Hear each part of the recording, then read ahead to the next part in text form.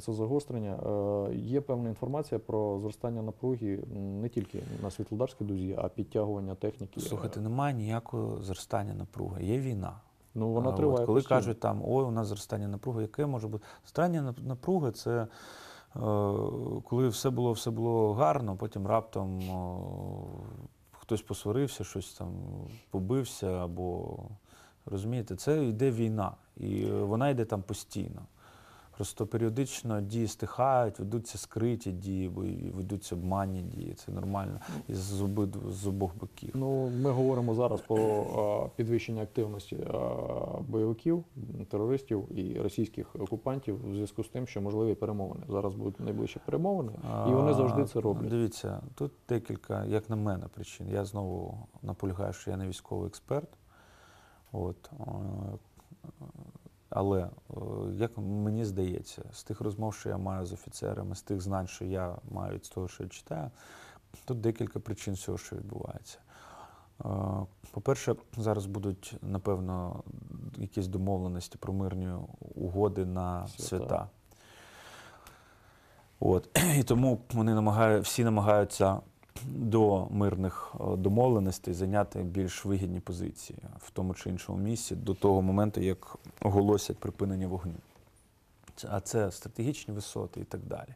Терористи намагаються прорватися, розумієте, але це не прорив в класичному вигляді, тому що е, щоб ви прорвалися, вам там далі потрібно щось робити, наприклад, закріпити свій результат, підтягнути тили.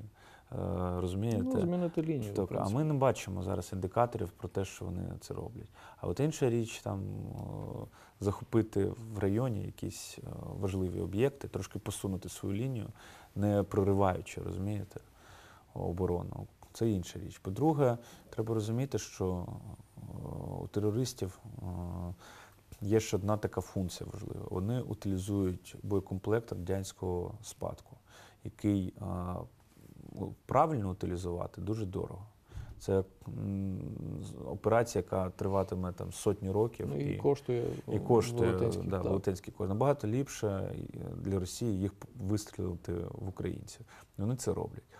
Є вже інтерв'ю з е, військовими в Російській Федерації, які везуть ЦБК звідти аж там з, зі сходу країни, там з Уралу, звідкись іще.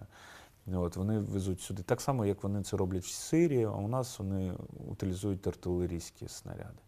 Оце перше. Ці вагони йдуть по, через всю Росію. Всі ці гумконвої. Ну, це такий собі полігон влаштували. Вони влаштували полігон, тренування своїх о, бійців. О, Вони трену, як у них е, здача іспитів о, для молодих військових о, в діях, які максимально наближені до реальних. От і все.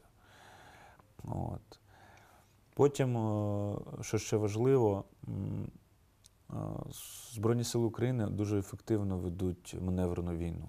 Противник не знає реальних стан, реального стану речей у Збройних силах. Вони не знають, де у нас є сили, де нема, де у нас реальні бліндажі, де нема. Вони намагаються це все визначити, зрозуміти. От. е, У нас пройшла демобілізація, у нас теж відбувається ротація, і противнику потрібно боєм Постійно зрозуміти, де постійно пробувати, де у нас є слабка, де немає, де Ну, оборона. Зрозуміло, да, вогневі позиції, укріплення і так.